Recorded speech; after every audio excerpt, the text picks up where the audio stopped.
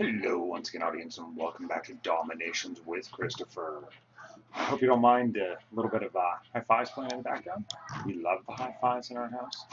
Uh, I wanted to go over the latest update that is coming in approximately nine days 4.7, the high seas. For the full upgrade notes or details, uh, please go to the Nexon forums, forums.nexonm.com slash forum. Uh, you can click through from there, and it is actually found under news and announcements. So, uh, I guess the reason I wanted to put a video is to do the highlights, not just for what is actually new and upcoming, uh, but what I feel is the most important thing as far as this update.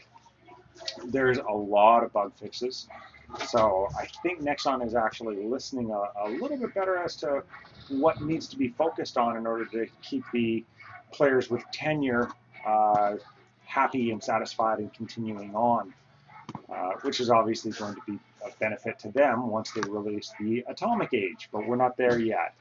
4.7, the high seas. Uh, so, without further ado, let's go through a few of these.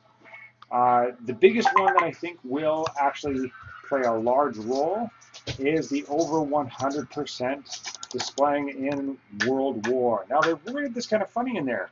It literally says fixed World War report damage percentage displaying over 100%.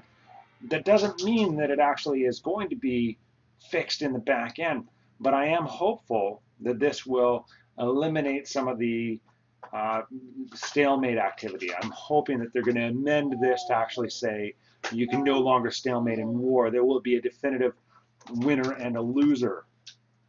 I think that will be helpful. Um, what else is there? As far as the bug fixes, it looks like there's a lot of smaller stuff. Obviously, the trade goods from World War has been fixed. Um, what else? Uh, they're adding a little button on top of your bunker to actually indicate when it needs to be refilled with oil, which is only helpful if you're in the industrial or uh, global age. But still, that is, is somewhat helpful rather than having to go and check it every single time you log in. But you should know if you were attacked and somebody got five stars, you're going to have to refill that bunker. Uh, replay accuracy has been improved upon, so I'm excited to see that as well because it's very confusing to see three or four different replays for the same attack. Um, now, they've also done some bad, uh, which is the commando troop space. Uh, has been reduced to 10. It was 15. Let's see. Anyhow, so, and there's also library research that will actually reduce that down by another two. Um, now, as far as new buildings and upgrades, the new building, which is the Sniper Tower, um, I think this is a very large one, and it will play a, a, very significant role on the gameplay simply on the basis that it will affect your drop point and how people actually play the game. Uh, the reason I say that is because it is where are we looking here? The sniper towers, they fire at the furthest target in range. Uh, but it does have a blind spot on close range. Now, I'm not sure if that's a sense as the mortar towers. Mortar towers, as you probably well know, do have a blind spot closer up to them, but you're not going to find a whole lot of troops that actually get that close. Uh, they do high damage, one kill against infantry, and slow rate of fire. Uh, they are going to be available only in the industrial age, so I think that's going to kind of further that gap between enlightened and industrial, and therefore almost forcing people to go to the industrial age.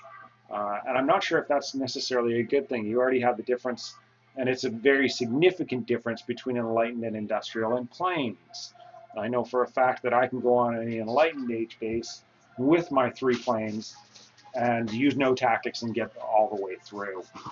Um, luxurious estate, so that's obviously something that you can go ahead and purchase. Uh, let's see. Uh, new upgrades for the library. Library. That's not my library, that's my university. That's not my library either.